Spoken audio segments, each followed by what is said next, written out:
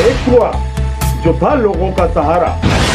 एक कुआँ, जो बुझाता था लोगों की प्यास सूखते कंठों को करता था तब वह कुआँ जिस पर हो रहा है व्यापार, और स्वच्छ भारत अभियान में लगना जहाँ फंसता जन प्रतिनिधियों की अनदेखी और लापरवाह अधिकारियों की कार्य प्रणाली पर उठ रहे हैं प्रश्न।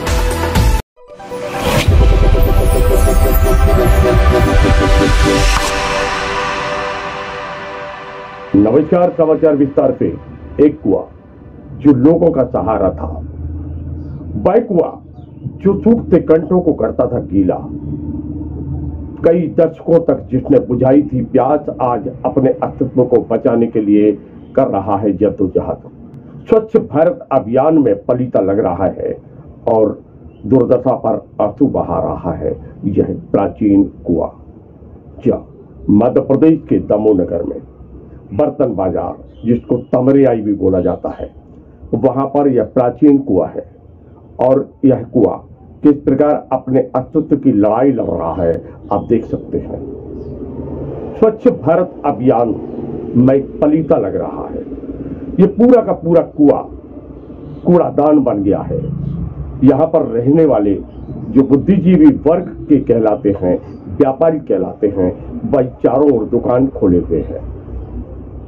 अतिक्रमण की चपेट में भी यह कुआँ पहुँच गया है। अति प्राचीन यह कुआँ कभी लोगों के सूखते कंठ को गीले करने में अपनी महत्वपूर्ण भूमिका का निर्वाह करता था। यह कोई कुछ वर्षों का नहीं, अपितु दशकों प्राचीन बताया जाता है।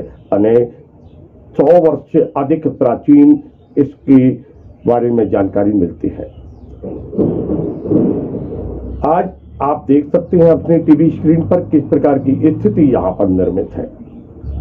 आसपास के क्षेत्र में किस प्रकार अतिक्रमण है और आज यहाँ पर उसी कुएँ के ऊपर भले ही जाली लगा दी गई हो, भले ही यहाँ पर उसकी सुरक्षा की दावे किए जा रहे हो, स्लोगन लिखे हो, परंतु क्या हो रहा है? अंदर कचरा ही कचरा है। आसपास के क्षेत्र में किस प्रकार अतिक्रमण है? चारों तरफ़ जाने वाले मार्ग को, में से एक मार्ग को बंधित यानी बाधित कर दिया गया है। और फिर, अब सिर्फ़ तीन तरफ़ से ही लोग निकल पाते हैं। एक तरफ़ से बंद कर दिया गया है, यानी खुलेआम अतिक्रमण। अतिक्रमण ऐसा नहीं कि सिर्फ़ सामान्य अतिक्रमण हो। अतिक्रमण ऐसा कि सीधा सीधा भवन बन गया हो।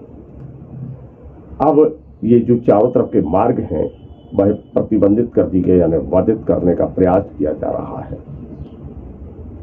कुएँ की स्थिति आप अपनी टीवी स्क्रीन पर देख सकते हैं और इस बात को लेकर आप प्रश्न चिन्ह अंकित होते हैं क्षेत्र के जनप्रतिनिधियों के ऊपर। जिनके कंधों पर जवाबदारी होती है, वह जो स्थिति होती है उसको देखने की भी। सही ढंग से काम हो, जन को सही लाभ मिले, इस बात की जवाबदारी होती है। वहीं अब कार्य प्रणाली पर प्रश्न चिन्ह अंकित होते हैं, संबंधित विभाग के अधिकारी कर्मचारियों के ऊपर भी। अतिक्रमण विरोधी दस्ता क्या करता है? नगर पालिका नगरीय निकाय किस स्थिति में है? और जब भारत के अंदर जल संरक्षण और संवर्धन के लिए विशेष अभियान चल रहा हो। स्वच्छ भारत अभियान चल रहा हो। और वैसी स्थिति में ऐसे को, ऐसे प्राचीन जल स्रोत आज ऐसी दयनीय स्थिति में दिखलाई देते हैं तो फिर निश्चित रूप से प्रश्न तो उपजेंगे ही।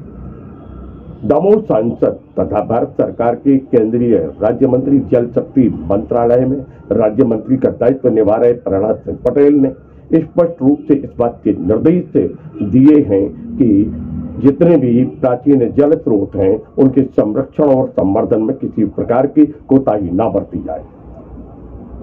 परंतु क्या स्थिति हो रही है, क्या नहीं हो रही है, किस प्रकार कार्य हो रहा है और किस प्रकार कुछ खबरीलाल और कुछ दलाल नुमा लोग सक्रिय होकर कार्य को बाधा पहुंचाते हैं, इस बात को लेकर भी चर्चाएँ बनी हुई है। हम पत्रकारिता का धर्म निभाते हुए आईना दिखा रहे हैं। लगातार ये मुहिम हमारी जारी रहेगी। हम अपने कर्तव्य के प्रति सजग हैं, सतर्क हैं और आईना दिखाने का काम लगातार हम करते रहेंगे देखते रहिए एल टीवी जुड़े रहिए हमसे, मिलते हैं फिर एक नए समाचार के साथ। नमस्कार.